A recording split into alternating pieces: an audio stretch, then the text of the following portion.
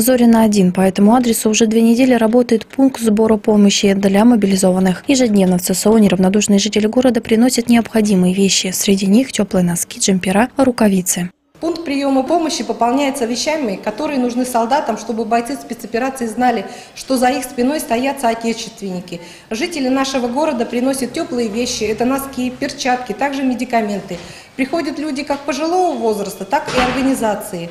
Участвовать в акции можно всем жителям нашего города. Перчатки, термобелье, балаклавы – это не просто часть экипировки, а тепло малой родины, которое согревает наших бойцов за тысячи километров от родного дома. Сбор вещей и необходимых принадлежностей в Центре социального обслуживания продолжается. График работы пункта приема гуманитарной помощи с 8 до 17.00 и обеденный перерыв с 13 до 13.48. Сбор помощи на данный момент продолжается.